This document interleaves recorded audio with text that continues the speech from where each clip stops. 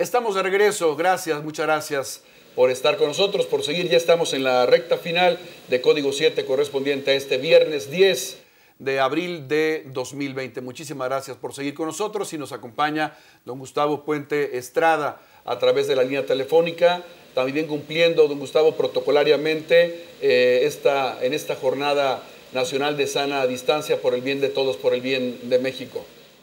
Aquí estoy, este, si hay alguna eh, tenemos eh, varias industrias que es muy importante reactivar.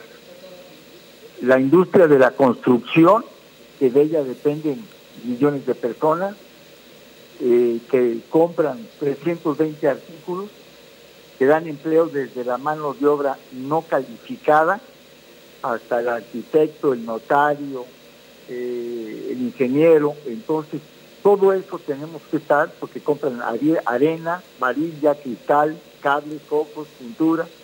Esa es una industria que hay que reactivarse mucho. Pero eh, junto con ello, en México tenemos cerca de 6 millones de, de pequeños, medianos y micronegocios. Cerca de 6 millones.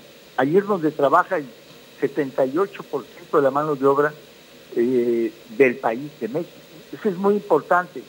Y sí tiene que haber los suficientes créditos porque se le va a dar nada más 25 mil millones de pesos en créditos. Y sin embargo a Pemex van 65 mil. Pemex el año pasado perdió 342 mil millones de pesos. O sea, no es posible que esté perdiendo tanto y que se le dé más dinero cuando ahorita lo que se necesita es rescatar el empleo en todo el país. Mucha gente no va a poder pagar otros 15 días otro mes, ¿eh? ya en mayo. Esa es una fecha fatal que se tiene el 30 de abril. Ahora, tenemos que cuidar la salud definitivamente, pero reactivar la economía es importantísimo porque esto se puede alargar uno, dos o tres años en recuperar la economía. Pues yo sí veo que hay que hacer un, un proyecto de unidad donde el gobierno en sus tres niveles y el sector productivo, que es el que aporta el dinero, el empleador y el trabajador, estén juntos. Y pensar que en México no las empresas no son las grandes empresas que tienen mil, dos mil empleados, no, son las micro, pequeñas y, gran, y medianas, que ocupan dos, cinco, el pequeño taller, el pequeño comercio que tiene dos ayudantes, la pequeña tienda que hace enchiladas, todos ellos tienen que seguir dando empleo porque son familias, ese es el verdadero, ese es el pueblo también, es el pueblo que tiene que trabajar y comer, no podemos perder tantos años de esfuerzo para lograr este país y que se pierda porque no hay un apoyo, esta, esta crisis es muy severa, esta crisis le está pegando a todo el mundo, pero todas las naciones con sus gobiernos están trabajando conjuntamente. Yo espero, yo deseo que se vuelva, o sea, que se, se vuelva a unir y trabajemos juntos, gobierno y empresarios. Eso es muy importante, no podemos estar cada quien por nuestro lado, porque ya hay programas que están haciendo los empresarios y los gobiernos del Estado por separado porque no se ve eh, que el gobierno federal esté decidido a apoyar lo suficiente. Yo creo que y espero que en esta semana se pueda reconsiderar esta situación porque el país es el único que tenemos y el país es de todos.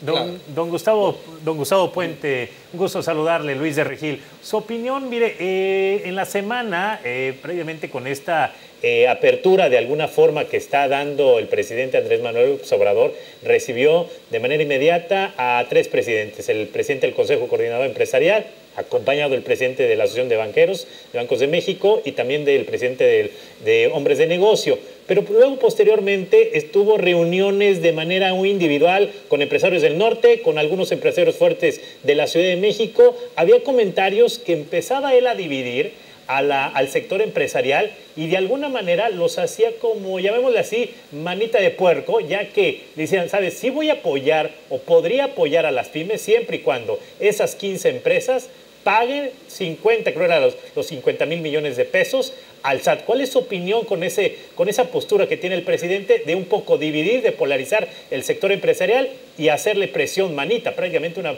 una presión de que si quieren los empresarios apoyo, paguen primero al SAT? Bueno, yo creo que ese es, ese es un comentario que se hizo y las empresas, las 15 empresas que supuestamente deben ese dinero, bueno, pues ellas serán las responsables de salir adelante y de, y de ver lo, relativo a ese comentario. Yo no sé si lo deban o no. Lo que sí sé es que esto es ajeno al dinero que se debe dar a los cerca de 6 millones que hay de pequeños negocios donde se están desocupando personas. Había dos grandes polos de desarrollo turístico, el de la Riviera Maya en Cancún, a la cabeza, y el de Baja California, con los cabos.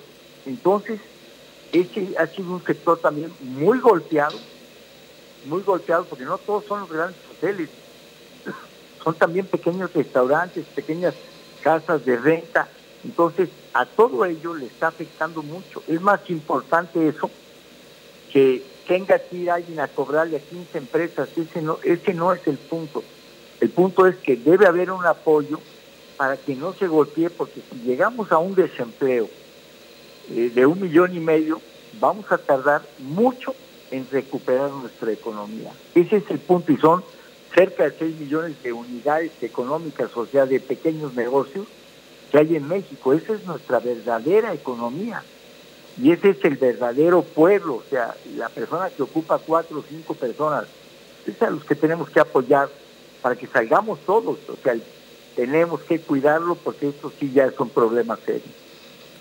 Platicaba durante la semana, don Gustavo, ya para, para terminar esta, esta emisión, platicaba con, también con un presidente de, de la Cámara, en este caso de nuestro centro, eh, Alberto Narváez Arochi, y él decía que prácticamente ya la confianza en eh, el presidente de la República eh, estaba perdida por parte del, empresariado o al menos del grupo que, que, representa, que quienes teníamos que sacar adelante al país éramos los propios mexicanos, así como lo dice usted, apoyando tal vez al, al pequeño comerciante, a la pequeña empresa, a la microempresa, tratando de hacer unas microeconomías seguramente en nuestras colonias, en nuestros barrios, en nuestras comunidades, en lugar de ir a grandes centros comerciales, para poder seguir generando ese circulante y que esto ayude a paliar un poco la, crisis que estamos viviendo en el momento. ¿Está de acuerdo con ello? Claro que sí. Conocemos todos muchísimos pequeños eh, tiendas de varios productos, de, alimentos, de ropa. Todos conocemos un pequeño taller, todos eh, conocemos una pequeña miscelánea, donde tiene dos, tres empleadas que son sus sobrinas o son jóvenes que están aprendiendo. Y ellos, si se les desocupa, ¿a dónde van a ir? Ese es el problema. Ellos tienen que llevar casa, a su casa alimentos y posiblemente medicinas. Entonces una persona que no regresa a su casa con alimento y con medicina, esa persona la estamos obligando a que delinca. Estamos presionando para que la gente pueda delinquir si no tiene un trabajo estable. En México hay 51 millones de personas que trabajan. 30 millones están en la economía informal, los lavacoches, los que se ponen en las vías a vender, los que compran 10 cocos y los venden en la calle partidos con limón y salsa. Y hay 20 millones y medio de personas que están registradas en el Instituto Mexicano de, Seguro Social, que son las que trabajan en las empresas, que ha costado muchos años de trabajo, muchos años de esfuerzo, el poder incorporar a todas esas personas a que tengan seguridad social, que tengan Infonavit y otras prestaciones. Entonces, eso no lo debemos de perder y la mayoría son de las micro, pequeñas y medianas empresas, pero con 25 mil millones cuando eh, se va a usar para los otros proyectos que tiene el gobierno federal cientos de miles de millones y a crédito solo 25 mil, no va a ser suficiente. Esa es la conclusión que yo tengo. El apoyo no es suficiente. Don Gustavo, le agradecemos muchísimo su participación, que nos haya tomado la llamada. Esperemos vernos muy pronto. Eso tendrá una doble satisfacción verle personalmente y que sea un signo de que ha terminado esta, esta catarsis, esta crisis de salud que, padecemos y empujar todos hacia un México económicamente eh, poderoso y efectivo. Le agradezco mucho de parte de mis compañeros también su presencia y su información. Gracias a ustedes.